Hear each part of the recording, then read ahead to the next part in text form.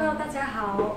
今天呢，我们请来了一位来自西藏的西藏旅游达人，那就是我们的 Carol 梦辰小姐。你好，你好。我叫 Carol，呃，我是从拉萨来的。我在西藏做了十六年旅行，旅行行业。今天很想跟大家一起分享一下我的个人的经验。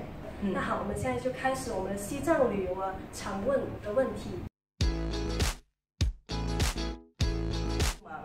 我们首先明确一下什么叫高反。所有的高原反应都是缺氧反应。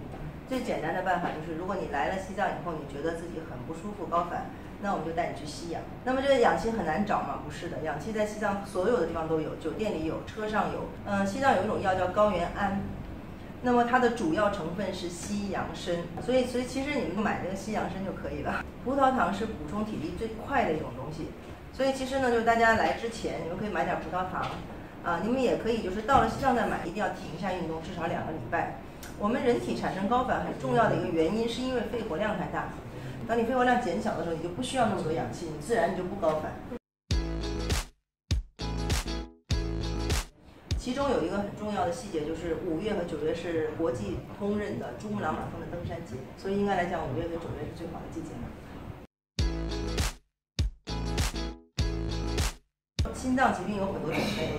比如搭桥，搭桥的客人来的非常多，因为他一旦搭桥了，疏通这其实不是大问题，但是我们怕有一些就是人并不了解自己实际的情况，我们还是建议他问一下医生比较好。现在洗手间很干净，很多洗手间是用泡沫掩埋的，呃，洗手间是到处都有的，不用担心这个。西藏有很多素食馆。因为本身西藏呢，它是一个藏族地区，就是信仰藏传佛教的，因此西藏的素素食馆是很多的。年纪大的人几乎是不高反，为什么呢？因为第一个呢，就是他们身体其实肺活量是比较小的，相对来讲年长的人是不容易高反的。我们首先在车上是有五个氧气瓶，这个钢瓶里面是压力氧。这个压力氧就是它跟医院的氧气是一样的，它的效果特别的好。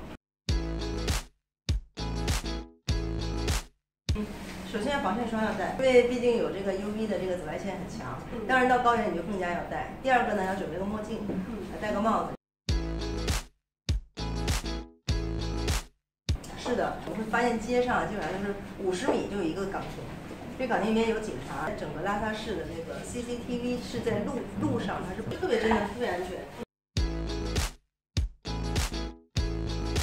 它是二零零六年七月一号开通的，它的全长是一千九百五十六公里，它是从西宁经过格尔木到拉萨的，然后从拉萨到。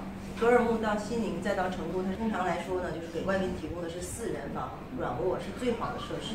它这个房间是有门可以锁的，这个软卧车厢隔壁就是餐车，整个这个车厢的后面会有一个洗手间，全程它是密封式供氧，所以它在火车上本身我们大家不用特别担心缺氧的问题。那今天呢，谢谢我们的 Carol 小姐呢，为我们一一解答这些疑惑，希望大家呢可以呃了解更多，而且并分享、订阅、跟按赞哦。好，再见。